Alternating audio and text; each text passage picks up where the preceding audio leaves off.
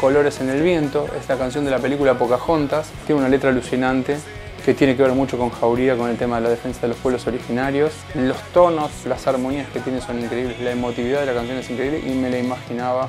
tocada así en ese estilo más rutero, hardcore rutero. ¿no? Me obsesioné con pegar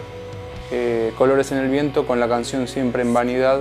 de, Romanticista Shaolin. Quería pegarlas las dos y que vayan como en un hilo conductor juntos, como por el mismo camino, por la misma ruta, que tengan una separación muy sutil entre ellas, pero que sea todo un, una especie de mantra de una velocidad continua. Con los chicos llegamos a ver como un video completo